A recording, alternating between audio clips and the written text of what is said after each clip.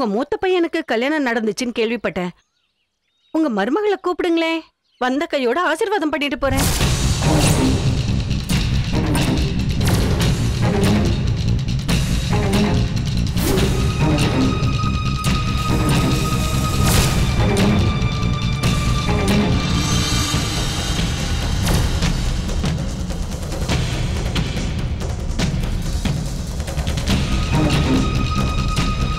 என்னாச்சு சௌந்தர்யா? உள்ள இருக்காங்களா? பரவாயில்ல கூப்பிடுங்க. நாளைக்கு இதுக்குன்னு திரும்ப வரவா முடியும்? வந்ததோட பாத்துட்டு போறேன்.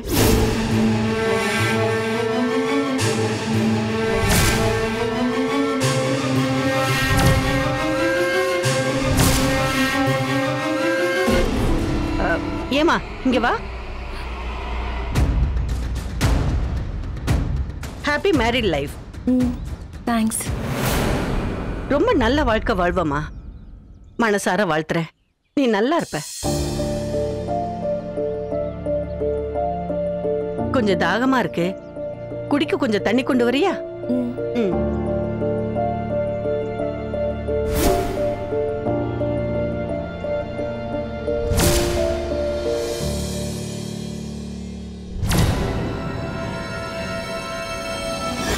பேப்பர்ல போட்டோ பார்த்தேன். அன்னைக்கே வரலான்னு தான் தோணுச்சு.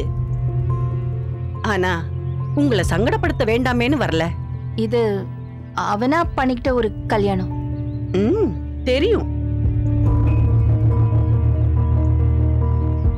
அன்னைக்கு என் பொண்ணுக்கு மாப்பிள்ளை கேட்டீங்க வந்தப்ப இல்லைன்னு சொல்லிருக்கலாம் ஆனா அவ்வளவு அவமானப்படுத்தி அனுப்ப வேண்டிய அவசியமே இல்ல.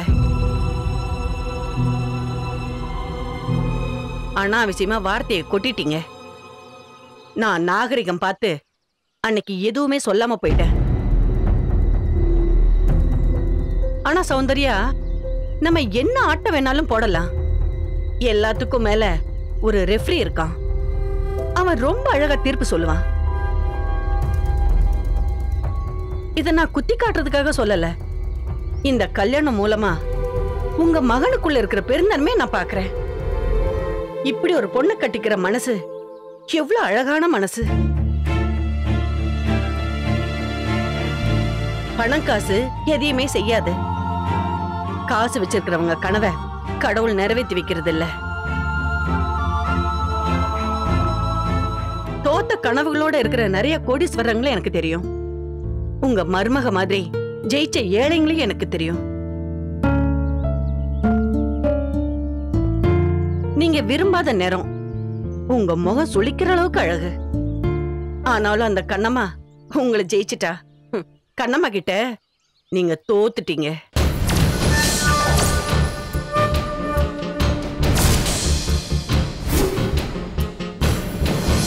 இந்த அழகு தோல் நிறம் எல்லாம் ஒரு நாள் அழிஞ்சு போயிடும் சௌந்தர்யா.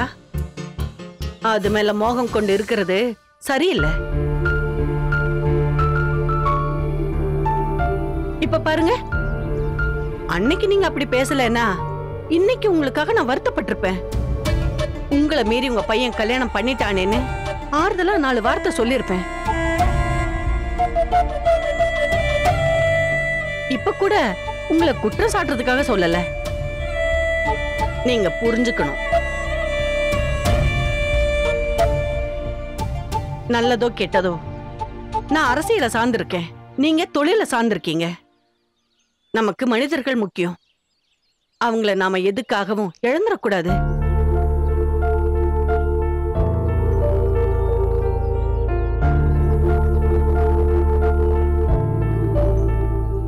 இந்தாங்கம்மா. வேண்டாமா இப்ப எனக்கு தாகம் தீர்ந்து போச்சு. உங்க அத்தைக்கு தான் தண்ணி தேவைப்படும். அவங்களுக்கு கொடுங்க. நான் வரேன் சௌந்தர்யா.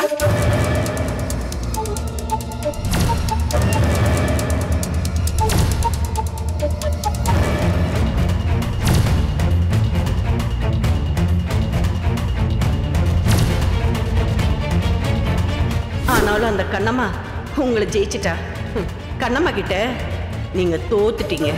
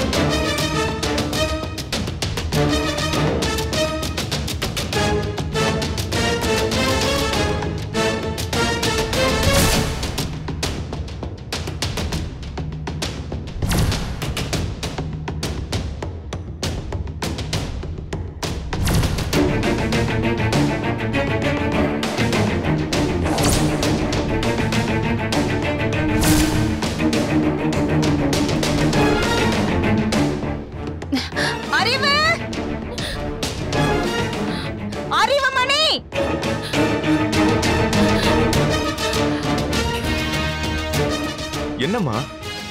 அறிவு எங்க கடைக்கு போயிருக்கா? கடைக்கு போயிருக்காளா?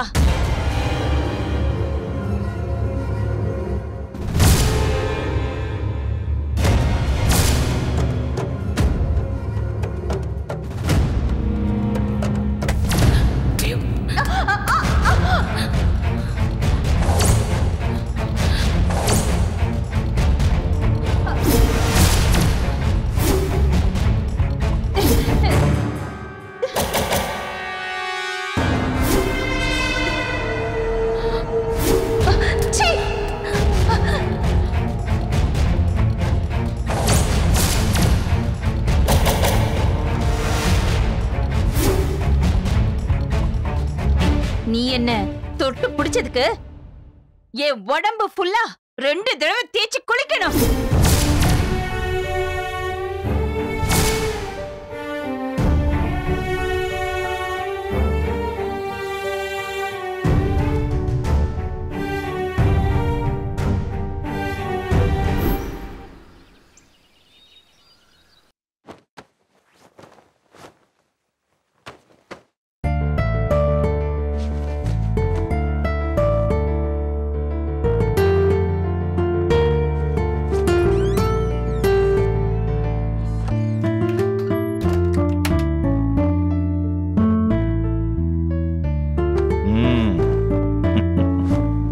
பாக்கியலட்சுமி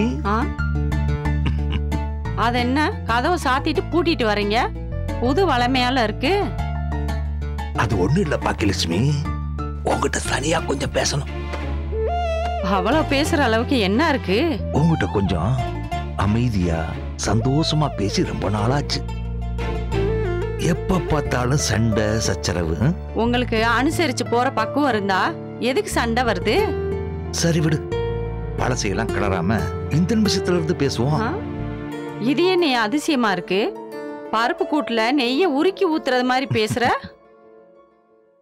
கண்ணம்மா வீட்டை விட்டு போனதுக்கு அப்புறம் இந்த வீட்டுல எனக்குன்னு இருக்கிறது நீ ஒருத்தி தானே. ஓ சேதி அப்படி இருக்குதா? அன்பு செலுத்த ஆள் இல்ல. அப்படி இல்ல பாக்கியலட்சுமி. அன்பு செலுத்த ஆள் இல்லாமலாம் இல்ல. இனிமே உன் மேல அன்பு செலுத்தலாம்னு தான். அது கம்பெனில அரியர் பணம் ஒரு ஒன்றரை லட்சம் ரூபாய் வந்துச்சு. அட அப்படியாயா என் தங்க ராசா அத அப்படியே சில்லு தட்டி போகாம என்கிட்ட கொண்டு வந்து குடு. நான் அம்மாட்ட கொடுத்து வட்டிக்கு விட சொல்றேன். ஒரு வருஷத்துல அசலுக்கு மேல லாபம் கிடைக்குமா?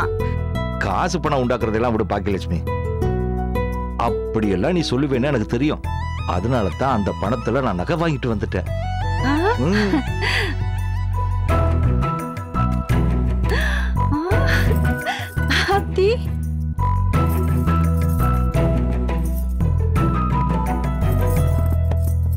அட நான் கூட உன்னை என்னமோ நினைச்சேயா? என் மேல இவ்ளோ பிரிய வச்சிருக்கேயா.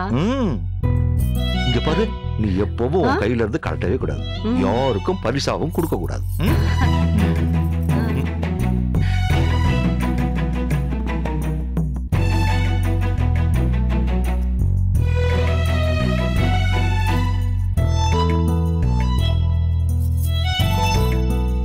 சத்தியமா கழட்ட மாட்டேயா?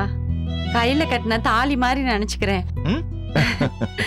பட்டுன்னு இப்படி கண்ணு மனச கலங்க வச்சிட்டியா இதுக்கு உனக்கு எப்படி நன்றி சொல்றதுன்னே தெரியலையா புருஷன் பொண்டாட்டிக்குள்ள எதுக்கு நன்றி பாக்கியலட்சுமி அதுக்கு இல்லையா? உனக்கே அஞ்சு லட்ச ரூபாய் கடை இருக்கு. அதையும் மீறியா கிடைச்ச பணத்துல இத வாங்கி என் கையில மாட்டேன்னு தோணுச்சே. அத நினைச்சா ஒரு நிமிஷம் இரியா. என் தம்பிட்டையும் அஞ்சலிட்டையும் போய் காமிச்சிட்டு வந்துடுறேன். அப்புறம் போலாம். அதெல்லாம் அப்புறம் காட்டிக்கலாம் பாக்கியலட்சுமி. ஆமா ஆமா. அப்புறம் காட்டிக்கலாம். இந்த மாதிரி ஒரு நகை வாங்கி கொடுத்து பதினேழு வருஷம் ஆச்சியா? இனிமே அடிக்கடி குடுக்கல் வாங்கலாம் நடக்கும் பாக்கியலட்சுமி. இந்த அஞ்சலிக்கு ஒரு கல்யாணத்தை பண்ணி வச்சிட்டோம்னு வச்சுக்க. அப்புறம் இந்த வீட்டுக்குள்ள யாரு இருப்பா? நீ நானும் மட்டும்தானே இருப்போம். நாமளே சண்டை போட்டுக்கிட்டு இருந்தோம்னா அப்புறம் இந்த சுவர் கூட பேசிக்கிட்டு இருப்போமா என்ன? வாஸ்தவம் தாங்க. இனிமேல் நாம இது மாதிரி ஒத்துமையா இருப்போம். ஆ? காஃபி தண்ணி வச்சுட்டு வரட்டா? அதெல்லாம் வேண்டாம் பாக்கியா. நீ இந்த அஞ்சலி கிட்ட ஒரு வார்த்தை சொல்லக்கூடாதா? என்னைய சொல்லணும்? சொல்லு. ஒரு வார்த்தை இல்ல பத்து வார்த்தை சொல்றேன்.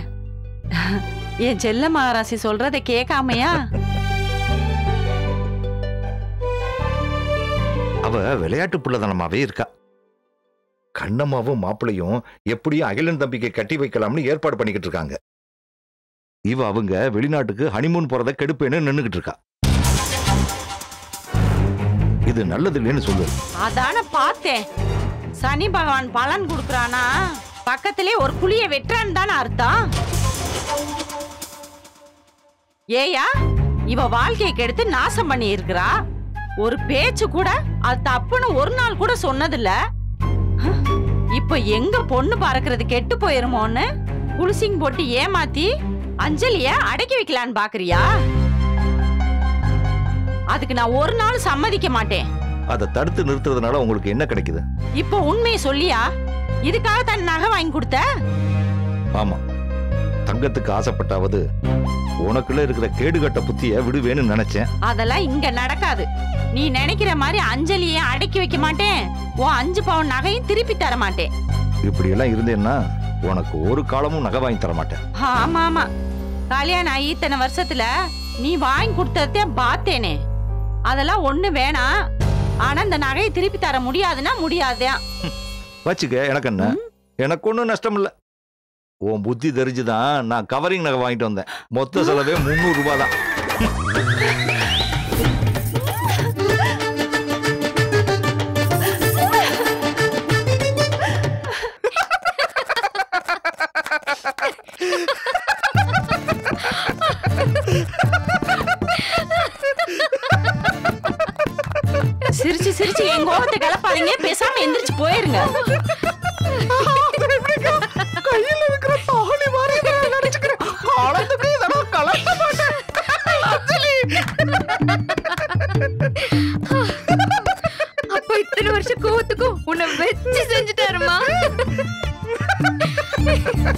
ஆமாடி அப்படியே நானும் நம்பிட்டேன்.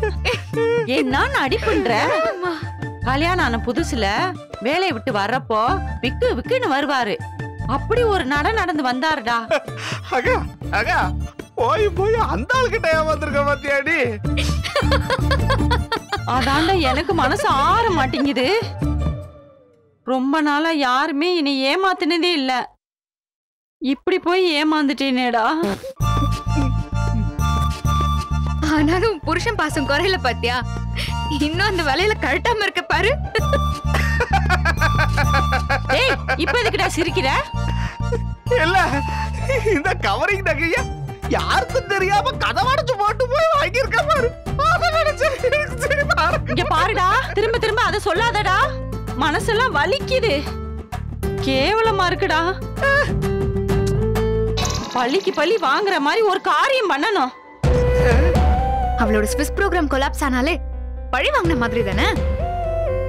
அதை ஏமா போய் கெடுத்துக்கிட்டு? அவ பாட்டுக்கு போயிட்டு வரா. அது என்ன மாமா? ஆம்பளைங்க எல்லாம் அவளுக்கே சப்போர்ட் பண்றீங்க?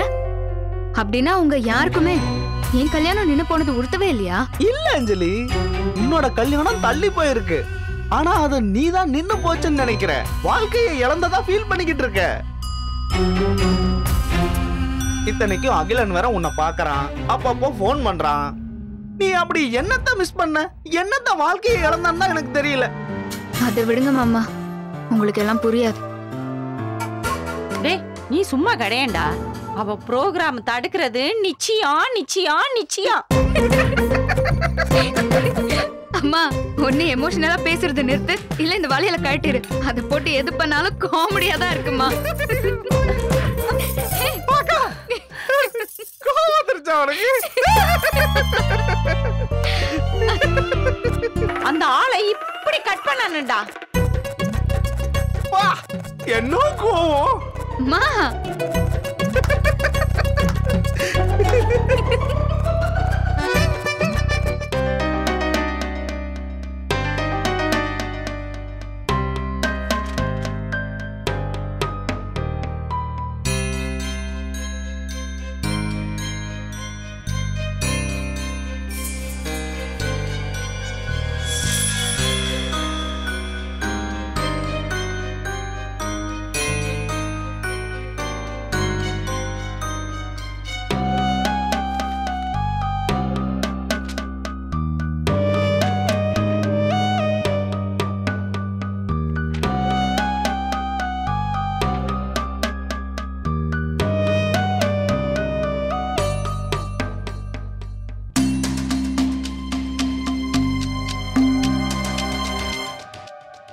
என்னம்மா?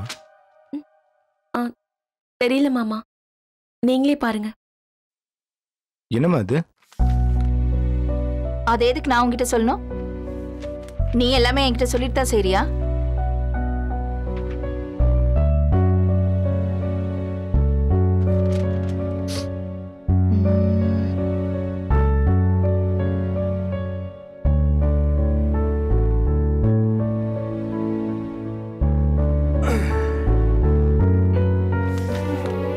வீட்ல இன்னும் சின்ன குழந்தைங்க இல்லாத குறைய தீக்கிறது யார் தெரியுமா? உங்க அம்மா தான்.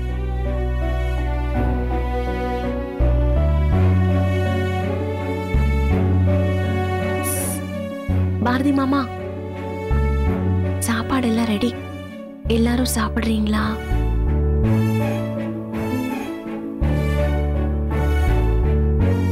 அப்பா அகில் வந்துட்டான்ல? வந்துட்டான்டா. அவன் ரூம்ல இருக்கான். இன்னும் கீழே வரல. அப்போ வந்ததுக்கு அப்புறம் எல்லாரும் சாப்பிடலாம்ல? யாருக்காகவும் யாரும் காத்துட்டு இருக்க வேண்டாம். என் புள்ள என் கூட சாப்பிடுவான். நான் செஞ்ச சமையல சாப்பிடுவான்.